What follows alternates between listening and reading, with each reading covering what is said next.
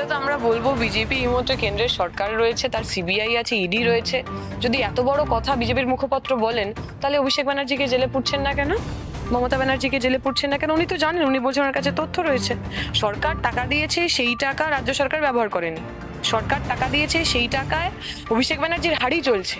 তাহলে এই সমস্ত কিছু জানার পরেও ঠিক কি কারণে বিজেপির সরকার তার সিবিআই, ইডি চুপ করে বসে আছে? এর তো কোনো লজিক নেই। আইদার উনি মিথ্যে কথা বলছেন আর দ্বিতীয় যে প্রশ্ন, যেটা আমাদের মনে আরও বেশি প্রভাবের, সেটা হচ্ছে সমস্ত কিছু জানার পরেও তাদের ওই আন্ডার দ্য টেবিল যে সেটিং হয়ে রয়েছে, সেই কারণে ওরা ওদের বিরুদ্ধে কোনো ধরনের কোনো কংক্রিট স্টেপ নিচ্ছেন না। এতবার ওকে ডাক পাঠাচ্ছে। বাংলার সাধারণ মানুষ, সমস্ত মানুষ জানে। তৃণমূল কংগ্রেস চুরি করেছে, তৃণমূল কংগ্রেস ডাকাতি করেছে, অভিষেক ব্যানার্জি চোর, একটা ডাকাত। তারপরেও এতবার ইডি সিবিআই ঠিক ধরতে পারছেন না। মানে আমি কালীঘাটের কাকু পর্যন্ত পৌঁছে যাচ্ছি, কালীঘাটের ভাইপো পর্যন্ত পৌঁছাতে পারছি না। আমার মনে হয় এই সেটিং না থাকলে, ভিতরে ভিতরে সমস্ত বোঝাপড়া না থাকলে এ সম্ভব নয়। মানে আমরা তো বলব, আমরা বলেওছি এই কথা বারবার, বহু বহুবার আগেও যেটা দুজনেই আসলে পরিপূরক। এরা একে অপরকে সাহায্য করে।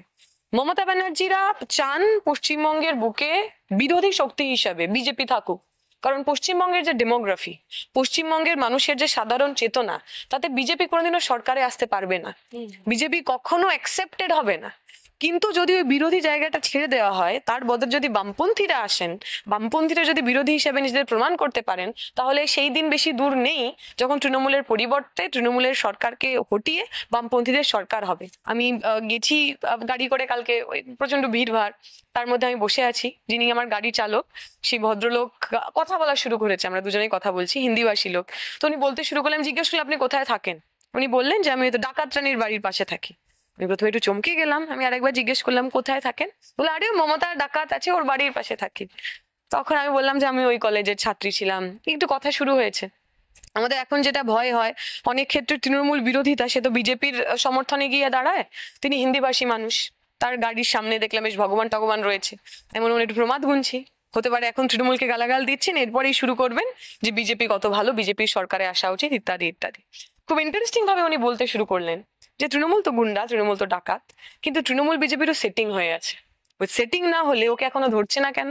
এই তৃণমূল বিজেপি এরা দুজনে একসঙ্গে পশ্চিমবঙ্গ থেকে সিপিএম কে হাঁটাতে চায়।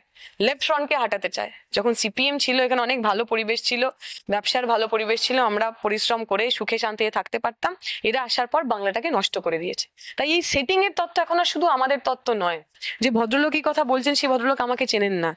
উনি একজন সাধারণ ওনার যে, উনি একজন ড্রাইভিং ড্রাইভিং করছেন, উনি গাড়ি চালাচ্ছেন, আমি ওনার গাড়িতে বসেছি, উনি খুব স্বাভাবিকভাবে কথাগুলো বলছেন।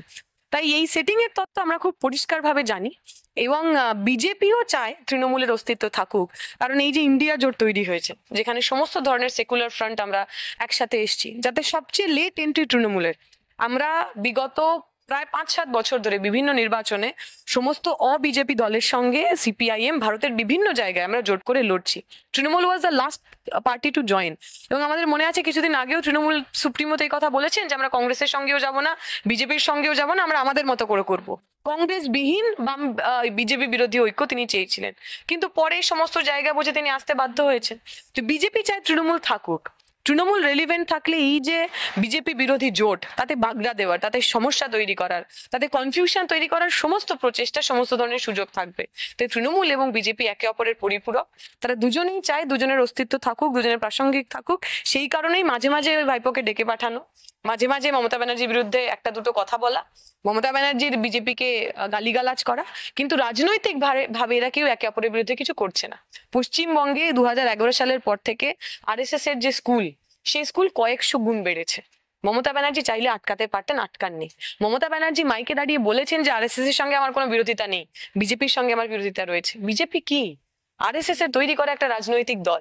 তাই এদের বোঝাপড়া খুব পরিষ্কার। আরএসএস এই দুটি দলকেই চালায় যাতে পশ্চিমবঙ্গের বুকে, ভারতের বুকে ধর্মের ভিত্তিতে রাজনীতি এই প্রাসঙ্গিকতা বজায় থাকে। আসলে মানুষকে ভুলিয়ে দেওয়ার জন্য তো অনেক ধরনের কাজকর্ম একসাথে চলছে। মানে আমরা তো জানি এখন সোশ্যাল মিডিয়া টিভি ইন্টারনেট এগুলোর খুব ইম্পর্টেন্ট ভূমিকা পালন করে। আমি আমার চোখের সামনে রোজ যা দেখছি, আমি সেটা নিয়ে ভাবতে বাধ্য হই। যখন পঞ্চায়েত নির্বাচন চলছিল আমরা সবাই জানি এবং শুধু নির্বাচন না নির্বাচনের পরে গণনার সময়ও যে ধরনের লুটতরাজ সন্ত্রাস হয়েছে আমরা তা নিয়ে কথা বলছিলাম।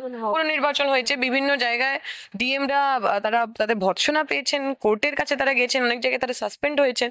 মানে আগে আমরা বলতাম যে পুলিশ তৃণমূলের আন্ডারে কাজ করতো। এই প্রথমবার বিডিও থেকে ডিএম মানে এই যে প্রশাসনের অংশটা তাদের পর্যন্ত তৃণমূলের হয়ে কাজ করতে বাধ্য করা হয়েছে। ফলে যতদিন পর্যন্ত সেগুলো ডিসকাশনে ছিল, আমরা টিভিতে দেখছিলাম, খবরের কাগজে দেখছিলাম, আমাদের মনে হয় মানুষের মধ্যে আউটরিচ অনেক বেশি ছিল। কিন্তু যেহেতু এই টিভি খবরের কাগজ বা সোশ্যাল মিডিয়াতে ঠিক আমরা কন্ট্রোল করতে পারি না কে কি বলবে। এবং এবং পার্টিকুলারলি মেন স্ট্রিম মিডিয়াতে যেভাবে তৃণমূল বিজেপি বাইনারি করে সেই অভিষেক ব্যানার্জির নাটক অভিষেক ব্যানার্জির একশো দিনের কাজের জন্য দিল্লি যাওয়া নাটক করে ধর্ণা দেওয়া রাজভবনের সামনে ধর্ণা দেওয়া যেহেতু মানুষের সামনে সেগুলোকে প্রতিদিন প্রতিনিয়ত দেখানো শুরু হলো। আমি যদি চব্বিশ ঘণ্টা টিভি খুললেই দেখতে পাই অভিষেক ব্যানার্জি বক্তৃতা দিচ্ছেন। তাহলে সেখানে আমার ইস্যু যেগুলো যেগুলো আমার আসল ইস্যু ছিল সেগুলো থেকে তো একটু একটু সরে যাই। তবে আমি বলব যে আহ, যদিও মানুষের স্মৃতি খুব ক্ষণস্থ- ক্ষণস্থায়ী, কিন্তু মানুষ কিন্তু সবটা ভোলেন না। আমি এই আসার পরেই মায়ের মুখে শুনছিলাম, এই আমাদের তো আমরা তো ওই আমাদের বিড়লাম্বানির টাকা নেই, কালীঘাটের কাকুর তো টাকা নেই, আমাদের সাধারণ মানুষের কাছ থেকে চাঁদা কালেকশন করতে হয়, আমরা তাই দিয়ে আমাদের রোজগারের পার্টির যে কাজকর্ম সেগুলো চালাই। তো মা বলছিলেন, মা যখন বাজারে গেছেন, মারা সবাই বাজারে গেছেন কালেকশন করছেন, বহু মানুষ, তারা স্বতঃস্ফূর্তভাবে এসে টাকা দিয়েছেন এবং টাকা দিচ্ছেন এবং একই কথা বলছেন যে এইবারের ভোটটা হয়নি। এইবারের ভোটে ওরা যা করেছে, সেই ভোট মানা যায় না। সেই ভোটে মানে তোমরাই জিতেছ। তোমরা যেন কখনো মন খারাপ করো না, আমরা তোমাদের সঙ্গে আছি।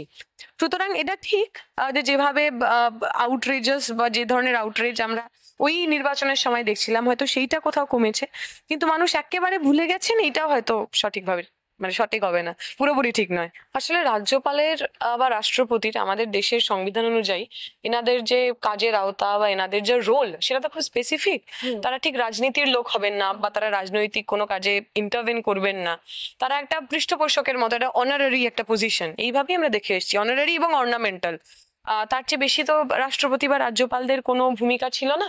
কিন্তু আমরা দেখেছি দু হাজার চোদ্দোর পর থেকেই আমরা যদি একটু দেখি বিজেপি কাদের কাদের ঠিক রাজ্যপাল নিয়োগ করেছেন, তাহলে আমরা বুঝব এই পথটা ঠিক অরাজনৈতিক নেই। মানে তথাগত রায় তিনি আমরা সবাই জানি তিনি বিজেপির নেতা। তিনি প্রথম দিন থেকে একটা ভীষণ রকম রাজনৈতিক মানুষ। তাকে তো মেঘালয়ের রাজ্যপাল আমরা করতে দেখেছি। এবং সমস্ত জায়গায় আগেও যিনি রাজ্যপাল ছিলেন, ধনকর সাহেব, যিনি এখন উপরাষ্ট্রপতি হয়েছেন, তারও যে রোল ছিল, তিনিও যেভাবে কাজ করেছেন, সেটা ঠিক রাজ্যপাল সুলভ নয়। রাজ্যপালের যে পদ, সেই পজিশনটার একটা রাজনীতিকরণ হয়েছে দু হাজার চোদ্দোর পর থেকে। তবে পশ্চিমবঙ্গের বুকে এরকম সুপার অ্যাক্টিভ রাজ্যপাল তো আমরা প্রথমবার দেখছি না। আমার খুব মনে পড়ছে আমি যখন ছোট, গোপাল কৃষ্ণ গান্ধীর কথা। গোপাল কৃষ্ণ গান্ধীও ঠিক একই রকম অ্যাক্টিভ ছিলেন। সেই সময় যদিও মমতা ব্যানার্জি রাজ্যপালের এই অ্যাক্টিভিজমকে খুব পছন্দ করতেন, তার মনে হতো এই রাজ্যপাল তো এমনই হওয়া উচিত। এখনও যে রাজ্যপাল তিনিও একটা অ্যাক্টিভিজম করছেন, এখন সেটা তার না পছন্দ এখন তার পছন্দ হচ্ছে না। আমরা তখনও এই পজিশনে নিয়েছিলাম যে রাজ্যপালের যে ভূমিকা, রাজ্যপালের যে এখতিয়ার, সেইটা সাংবিধানিকভাবে ততটাই হওয়া উচিত, যতটা তার করা যায়। তার চেয়ে বেশি তার করা উচিত নয়। এখনও আমরা সেই একই পজিশনে রয়েছি। তিনি রাজ্যপাল হন অথবা রাষ্ট্রপতি হন তিনি কোনো রাজনৈতিক দলের হয়ে বা কোনো রাজনৈতিক দলের বিরুদ্ধে বা কোনো সরকারের বিরুদ্ধে তিনি এভাবে কাজ করতে পারেন না। সেই সময়ও ঠিক ছিল না এখনও ঠিক নেই। একশো দিনের কাজে যে সমস্ত মানুষ একশো দিনের কাজ করেছেন এবং যে সমস্ত মানুষ তার বকেয়া টাকা পাননি, তারা প্রত্যেকে সত্তর তার টাকা পান। এই নিয়ে কারোর সঙ্গে আমাদের কোনো দ্বিমত নেই। যে মানুষ, কারণ একশো দিনের কাজ তো এই আমাদের, আমরা যখন বামপন্থীরা ইউপিএ ওয়ান করেছিলাম, একশো দিনের কাজ তো আমাদের করা। এই একশো দিনের কাজের যে আইডিয়া সেটা বামপন্থীদের দেওয়া। কেন একশো দিনের কাজের দরকার? আমি এটা আমার খুব ব্যক্তিগত এক্সপিরিয়েন্স আমি যখন ইউনিভার্সিটিতে পড়ি, আমরা উত্তরপ্রদেশে গেছিলাম, আমাদের ফিল্ড সার্ভের জন্য। তো উত্তরপ্রদেশের গ্রাম সেখানে খুবই জাতি ব্যবস্থা, বর্ণ ব্যবস্থা খুবই কঠিন, কঠোর। আমরা গেছি একজন ক্ষত্রিয় একজন রাজপুত ভদ্রলোকের বাড়ি। তিনি এরকম খাটিয়ার ওপর বসে রয়েছেন, আমরা অন্য একটা খাটিয়ায় তার সাথে কথা বলছি। তিনি কথা বলতে বলতে বলছেন যে এখন তো আমাদের খুব অসুবিধা। কারণ এখন আর ওই দলিতরা, হরিজনরা, তারা আর আমাদের এখানে কাজ করে না। তারা এখন তো ওই একশো দিনের কাজে চলে যায়। আমরা আরেকটুখানি অবাক হলাম কি ব্যাপার? তো তিনি বলতে লাগলেন যে আমার দেশের যে সামন্তবাদী ব্যবস্থা, তাতে এই দলিত মানুষ ল্যান্ডলেস মানুষ, যারা এগ্রিকালচারাল লেবারার হন যে মানুষের জমির অধিকার থাকে না, যে মানুষ যাদেরকে শূদ্র বলা হয়, যাদেরকে শিডিউল কাস্ট বলা হয়, অনেক জায়গায় তারা আনটাচেবল তারা এই সমস্ত রাজপুত ঠাকুর বা জমিদারের জমিতে তারা বিভিন্ন সময় বেগার খাটতেন। তারা কখনো হয়তো খাবার বিনিময়ে খাটতেন। ওয়েজ দেওয়ার, টাকা দেওয়ার কোনো ব্যাপার ছিল না।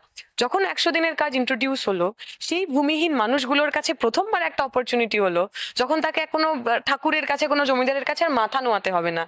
সে তার নিজের ঘাম, তার নিজের শ্রমের বিনিময়ে সে টাকা পাবে। তাই একশো দিনের কাজটা আমরা চেয়েছিলাম শুধুমাত্র গরিব মানুষের হাতে টাকা দেওয়ার জন্য নয়, গরিব খেটে খাওয়া, পিছিয়ে পড়া সম্প্রদায়ের মানুষের ডিগনিটি সেলফ ওর্থ মাথা তুলে বাঁচার যে অধিকার, সেইটাকে ইনস্টিল করার জন্য। তাই একশো দিনের কাজে যে মানুষ কাজ করেছেন, সেই মানুষ তার টাকা পাবেন।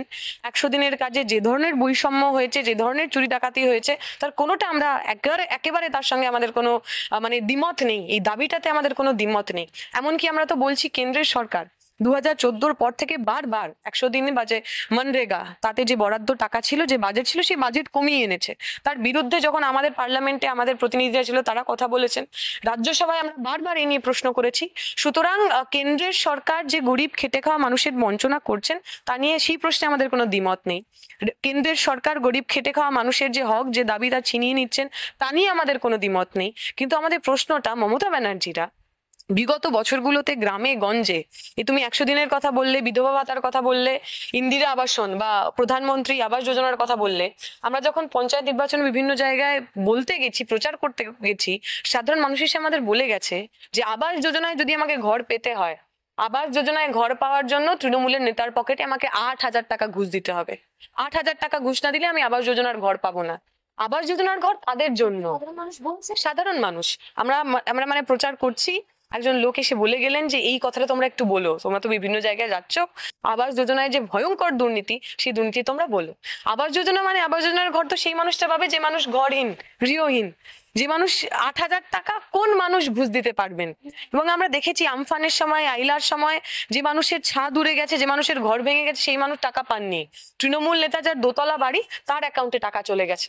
সুতরাং দুর্নীতির প্রশ্নে তৃণমূল একেবারে সাধু পুরুষ, তৃণমূল একেবারে ধোয়া তুলসী পাতা, এ আমরা বিশ্বাস করি না। আমাদের দাবি ছিল, বারবারই দাবি আমরা করেছি, আপনারা শ্বেতপত্র প্রকাশ করুন। এই এতগুলো মানুষের পাওয়ার কথা এই এতগুলো মানুষের নাম ঠিকানা আধার কার্ড অমুক তমুক জব কার্ড এই সমস্ত তার আপনার ডিটেলস দিন শ্বেতপত্র প্রকাশ করুন আপনাদের সঙ্গে আমরা রয়েছি। কেন্দ্র রাজ্যকে টাকা দেবে এই প্রশ্নে আমাদের কোনো দ্বিমত নেই। আমার মনে আছে কোভিড এর সময় পর্যন্ত। ইভেন তারপরে যখন জাতীয় বিপর্যয়ের কথা আমরা বললাম আইলার সময় আমফানের সময় আমরা বলেছিলাম রাজ্যের সরকারের সঙ্গে আমরা রয়েছি। কারণ দাবিটা ন্যায্য। কিন্তু সেই দাবির সামনে রেখে আমি যদি রাজনীতি করি সেই দাবিকে সামনে রেখে আমি যদি ওই গরিব মানুষগুলোর টাকা লুটি, দুর্নীতি করি, চুরি করি, ডাকাতি করি, তার সঙ্গে তো আমরা একদম নেই।